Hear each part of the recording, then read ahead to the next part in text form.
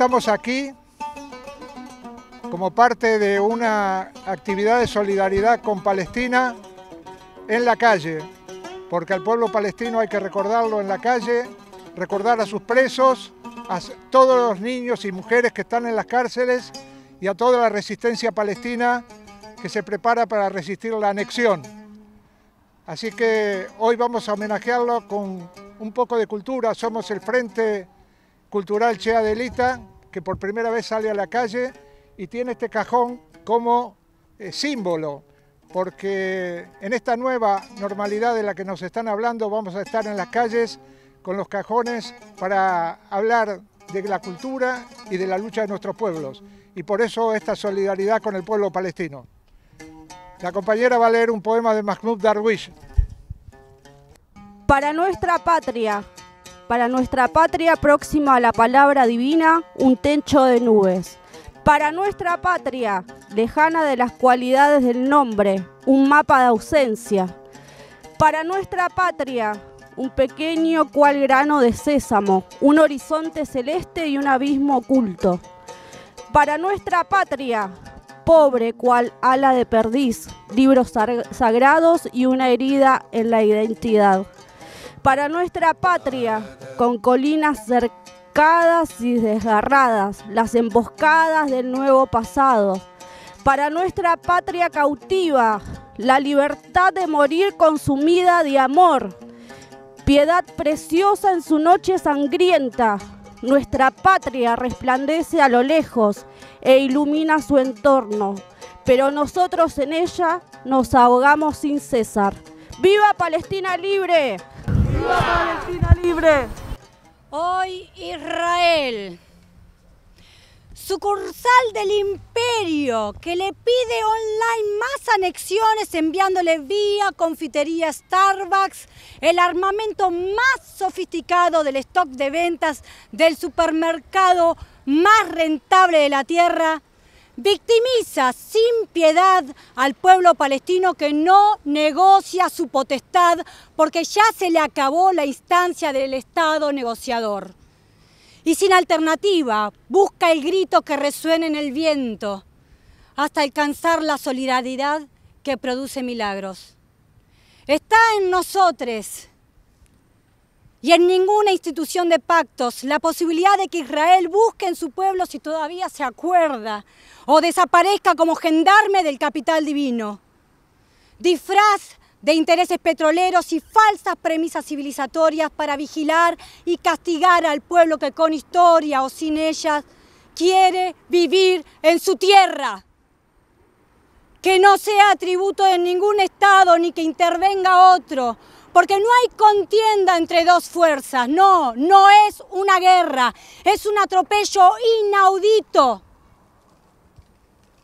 Palestina es eso, ese ruido.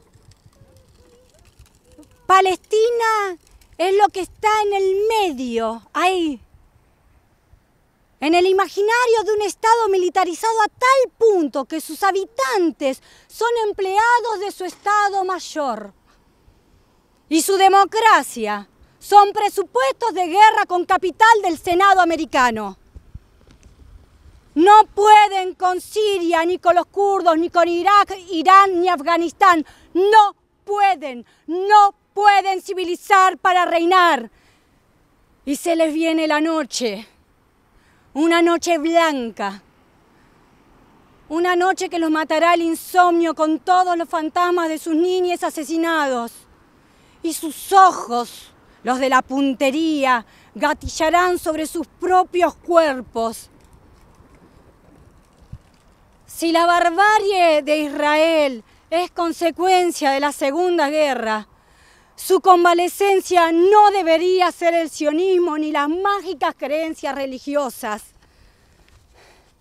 ni las alianzas para sus ataques. Aunque todas estas juntan fuerzas, no iluminan razones. Y nunca, pero nunca, un ideal fue sostenido por el capital. Los semistas están en la misma casa y como la torre de Babel parece que no cabemos. Si no tuviéramos el techo miraríamos al cielo. qué difícil que es pensar el mundo sin propiedad, sin fronteras. Pero mucho más difícil es vivir con ellas. Están matando la inocencia y entonces las mujeres serán volcanes y los hombres inmortales y nosotros justes o empleados de la muerte. Lloramos piedras cuando los enemigos son digitales. ¡Viva Palestina libre! ¡Viva! Sabíamos que teníamos que estar y por eso acá estamos. Porque se va a cometer una nueva infamia, una nueva injusticia de una larga lista. Y la forma que encontramos de denunciarlo, una vez más, es esta.